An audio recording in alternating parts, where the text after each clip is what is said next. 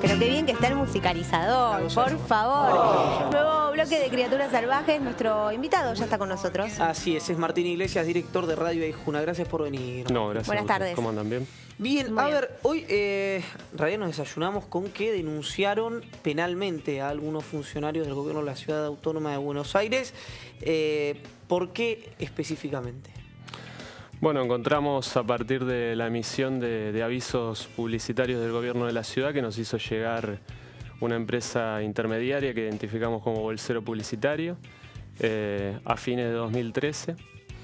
Y bueno, esta, esta relación que teníamos comercial con este intermediario nunca nos hizo sospechar que a mediados de este año recién, a partir de constatar datos oficiales de Buenos Aires Data, donde figura nuestra emisora, eh, se publican montos mucho mayores a los que nosotros habíamos facturado a este intermediario en concepto de publicidad oficial emitida en Radio Aijuna. A ver, para, para entenderlo operativamente, ustedes le facturaban 100 al, al bolsero Bien. y en Buenos Aires Date figuraba 1000. Una Exactamente. Bueno, nosotros en, en todo concepto iba incluido eh, desde finales de 2013 hasta mediados de este año 2015, facturamos 35.580 pesos y en el portal Buenos Aires Data figura casi 620.000 pesos solamente hasta fines de 2014. O sea, sea, falta que sigue, este año. sigue corriendo todo este año. Eso sería el error de carga.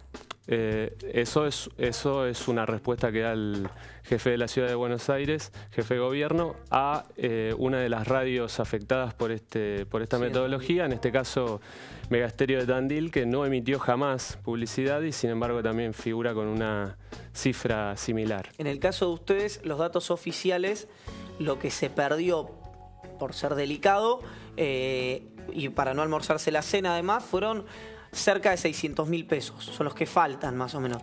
¿Cuál es la sospecha entonces? ¿Dónde está ese dinero?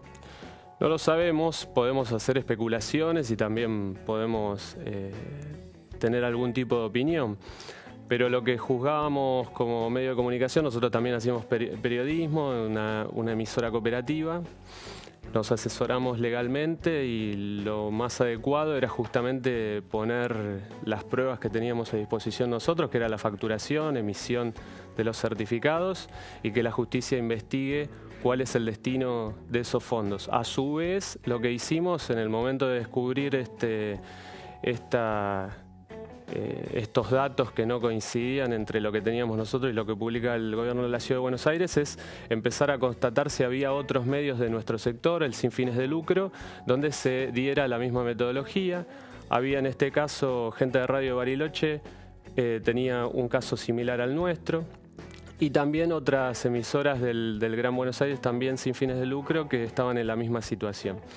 Eh, compartimos esta información, intentamos buscar más datos y también por la vía legal lo que hicimos fue presentar una denuncia penal justamente para que la justicia investigue en profundidad el destino de los fondos y también lo que tiene que ver con la relación con estas empresas intermediarias, porque lo que detectamos a su vez es que si bien tenemos relación con una sola persona, que puede ser X, pero en este caso era María Luz Altovelli, eh, fue cambiando paulatinamente con el paso del tiempo los domicilios donde había que enviar los, los datos de facturación o los certificados de emisión y también cambió el nombre de la razón social, el quit al cual se le emitía la facturación.